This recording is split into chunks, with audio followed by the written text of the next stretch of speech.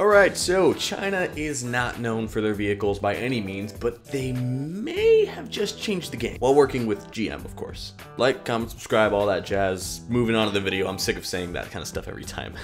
Let me give you the rundown. Chinese company Wuling paired up with GM to make a transforming truck that can go from flatbed to regular bed whenever you need. This truck is called the Wuling Zhangtu? Wuling, Wuling, Wuling, Wuling Zhangtu. I don't know.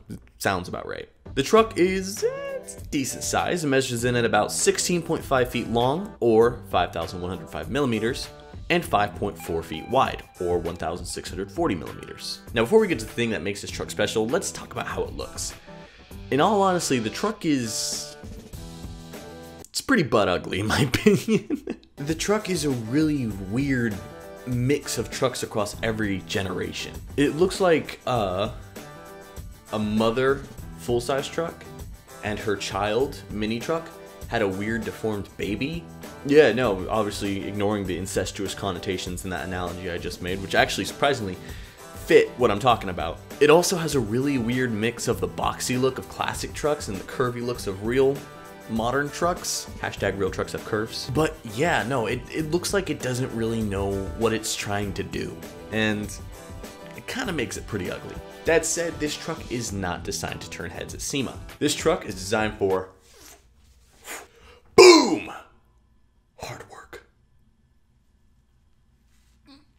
There we go. Okay.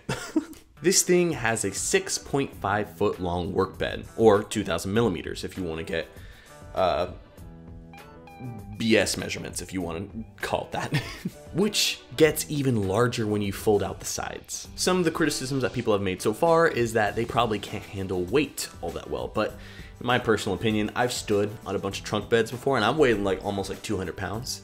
But uh, even if it can't handle a ton of weight, it's the center part that's really important, not the sides, because you're not going to be stacking everything up only on the sides. Most likely it's going to be spread across. So my person personally, I don't think it's going to be a problem. But that's a criticism that I've heard of it so far. They're worried about how much weight it can take. Ultimately, the most important thing is the sheer amount of bed space because there's a lot of pictures of China that go around where people are just stacking way too much stuff on their car, So this truck is probably gonna be a lifesaver. The interior is extremely, extremely basic for the modern day, but that can be a good thing. In fact, all it really has is an 8 inch infotainment system with GPS and that's a about it. Now, up next is my problem with it, which is the engine. Now, a lot of modern trucks are more efficient than trucks of the old days, but there comes a limit where you're just kind of like, does this thing have enough power to pull anything? the engine is very small with only about 1.5 liters making 99 horsepower. Yeah, no, this is that's the reason why I'm kind of concerned about the utility of the truck. It seems like for a truck that you want to haul anything with, I know gearing is the most important, but you'd probably want to shoot for at least 200 horsepower. So I'm not sure if this thing will, will be really good for hauling. I know it probably is more for lugging around work parts, like a, hauling around lumber or hauling around sheet metal, all that kind of stuff. I just hit something on my desk. Horsepower isn't everything, but it's still important to a point. Granted, the towing specs haven't uh, been released yet, and it's not just Chinese company working on it, it's also GM, so I'd be willing to bet it's in pretty decent hands. Now, even though the power and look of it is kind of on the downside, all of this can be forgiven for the low, low price of, what is it? 58,800 yuan. Or, in American money, that's around $9,000. That's right, you're getting a brand new truck for $9,000.